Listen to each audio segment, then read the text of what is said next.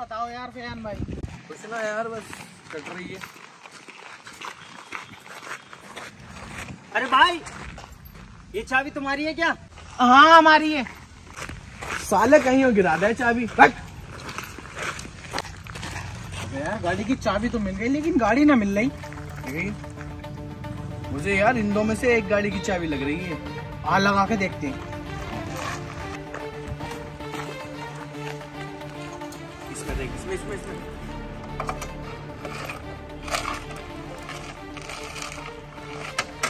दादा साले अबे ओ, रुक, यहाँ पर रुक, यहाँ पर रुक, यहाँ पर रुक। बे, साले इस गाड़ी के कागज़ वागज तो है ही ना हमारे पास। अगर चेक इन में फंस गए ना चोरी का इल्ज़ाम अलग लगेगा और कई साल के लिए जेल में जाएँगे। अबे तो यार क्या करें इस काम? अबे इसे देते हैं बेच। अबे ऐसा कैसे ले लेगा कोई यार? ना हमारे पास कागज़ है इसके ना हमारे नाम में गाड़ी है। अबे ले लेगा कोई भी यार अगर चंगुल में फांस दे तो सही से। बैठ गाड़ी पे बैठ मैं बताऊँगा देख कैसे बिकेगी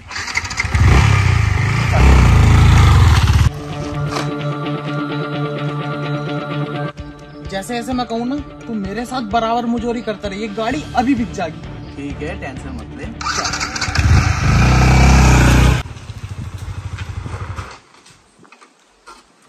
भैया मैं गाड़ी बेचूँगा। अबे यार गाड़ी मत बेचो यार नादिर भाई। मैं गाड़ी बेचूँगा मेरी गाड़ी मैं बेचूँगा अभी से। अबे यार पैसों की दिक्कत है मुझे पता है लेकिन तुम अपनी माँ की निशानी थोड़ी बेचोगे यार। माँ की निशानी में तभी कितनी बरकत होती? बहुत बरकत होती है और तुम इसे मत बेचो कहीं ना कहीं से पैसों का जुगाड़ हो जाएगा। जब मेहनत करोगे तो। ला तू दे दे तो पैसे। अबे यार मेरे पास हो तो मैं दे देता लेकिन ये मत बेचो तुम। मैं बेचूँगा मेरी गाड़ी है मुझे दिक्कत पड़ रही है। अरे दिक्कत पड़ रही है मैंने माना लेकिन भाई तुम कोई काम करोगे तो ये गाड़ी तुम्हारी नहीं बिकेगी। पैसे मैं गाड़ी बेचूँगा यार। अरे मत बेचो यार इस गाड़ी को कोई नहीं खरीदने का। मेरी बात मानो तुम्हारी माँ की निशानी अपने पास ही रखो तुम इसे। क्यों ना बेचेगा नई गाड़ी है अभी तो ये? मैंने माना नई गाड़ी है लेकिन तुमसे पेपर तो खो चुके हैं। अरे भाई साहब मैटर क्या है यार? क्यों लड़ रहे हो तुम दोनों?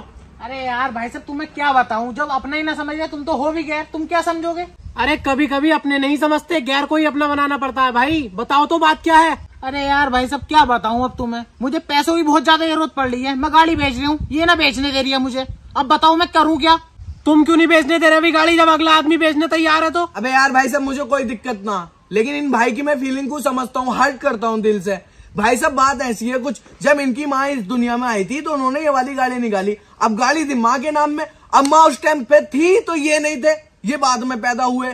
अब जब ये पैदा हुए तो इसकी माँ पेपर रख के भूल गई। अब वो इस दुनिया में ना है तो गाड़ी कौन खरीद लेगा मैंने माना आपका दिल साफ़ है। आप इंसानियत जानते हो। आप दूसरों की बातों को समझते हो। ये थोड़ी समझ लेंगे। हम समझ लेंगे तुम्हारी बातों को। हम तो तुम्हारे दोस्त है। हाँ यार ये तो कागज़ मांगेंगे हमसे फिर। कागज़ मांगेंगे तुमसे? बिना कागज़ के खरीद लेंगे? किसी कीमत पे भी ना? पूछ लो। अरे भाई साहब रुक तो जाओ यार। हमारा भी दिल है। हम भी समझते हैं बातों को यार। खरीद लेंगे। हम बताओ कितने रुपए मांग रहे हो गाड़ी के? चलो यार तुम अपने ही लग रहे हो। साठ हज़ार दियो। साठ हज़ार इतने कम में बेचोगे क्या? अरे यार अपने आदमी लग रहे हैं मुझे ये। ये माँ की निशानी है यार। चलो सत्तर दे दियो तुम अब।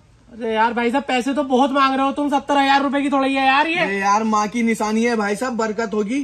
तो किसी और को बेच लो फिर माँ की निशानी हम तो लेना रहे यार। रुको बताओ कितने दोगे तुम? तुम ले लियो हमसे चालीस हज़ार रूपए ले लियो। चालीस तो चुप चुप जा। मैं जो कह दू उस पर डन रही हो। ठीक है? मैं जो बोल दूँ पैतालीस दो बात खत्म करो। अबे यार भाई अब तू चुप जा यार नादिर। अब मैंने भाई को जबान दे दी है। हमारे अंदर इंसानियत है। इंसानियत की कोई कीमत होती है और जबान की भी कीमत होती है। भाई पैतालीस दो बात खत्म करो। चलो जो मेरे भाई ने कह दिया वो दे दो यार तुम। अरे यार भाई पैतालीस तो बहुत ज़्यादा है इस गाड़ी के। यार इतने रुपए की गाड़ी थोड़ी है। वे यार भले इंसान बाबले हो कैसे? मैंने दूसरे इंसान से जबान दे दी उससे कीमत कम करा दी अब तुम उस पैतालीस को भी ज़्यादा बता रहे हो? अबे माँ की निशानी है। माँ पता भी कौन होती? माँ के पैरों में जन्नत होती है भाई। खरीद खरीद कर छुट्टी करो ये ज़मीन भी खरीद दो। चालीस ही दूँगा यार मैं तो चालीस ही दूँगा इससे ज़्यादा न दूँगा भाई साहब। अरे यार लाओ मुझे बहुत अरे यार वैसे वैसे भी तेरी माँ को चालीस नंबर बहुत पसंद था ना? चालीस नंबर का चप्पल लाग रहा है इसकी माँ के। दे दो बात खत्म चलो दो लाओ। जल्दी दो। मैं पहले चला के देख के आऊँ एक बार कैसी चल रही है। अभी दूँगा पैसे उतरो। अरे यार तुम्हें यकीन ना हमारे ऊपर। नहीं यकीन तो है भाई चालीस हज़ार रूपए भी दे रही हूँ अपनी जेब से। उतरो उतरो। उतरो इंसानियत नाम की चीज़ ना समझ रहे कोई जी यहीं खड़े रहियो अभी आ रही हाँ। ये खड़े हैं, जल्दी आइयो। आराम से। आराम से ना चला रही है यार ये। काम हो जाएगा अगर इनने चालीस में ले ली तो फिर ही फंड में मिलेंगे। आ रही आ रही। गाड़ी तो तुम्हारी बहुत शानदार चल रही है भाई। अरे होगी क्यों ना भाई साहब शानदार। नई गाड़ी है। क्यों ना नादिर हाँ जल्दी बताओ अब। पैसे लाओ गिन दो यार। यार भाई साहब चालीस हज़ार रूपए में तो महँगी है यार जिस हिसाब से चल रही है देखो। मैं साले तेरा मुँह फाड़ दूँगा बहुत देर हो गई तुझे।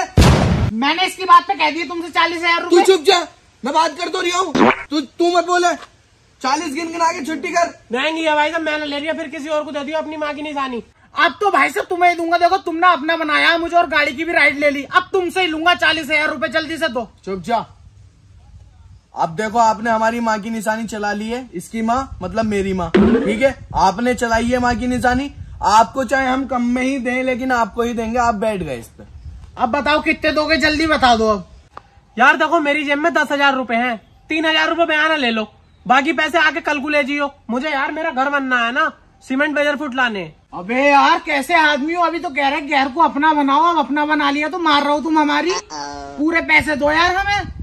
ये घर घर ले रहे हो तुम और ये घर में बजट फूट लगवाओगे हैं? बाकी पैसों से। अभी भूकंप आ गया तो सब रेड़ में मिल जाएगा। हमारी गाड़ी तो हुई रहेगी चलती रहेगी। भूकंप में ऐसे भागेगी ऐसे लहरता हुई सांप की तरह। अब जल्दी बताओ यार। मेरा दिल गवाही न दे रही मैं ले ही ना रिया। अरे? कैसी बातें कर रही साले अब तो तुम्हें देखे हूँ मैं। ना भाई साहब मुझे तुम चोर लग रहे हो यार। चोर बता दिया मैं इसकी कसम खा के दिखाऊँ? इसकी कसम मैं चोर ना हूँ। इसकी कसम मैं भी चोर ना हूँ।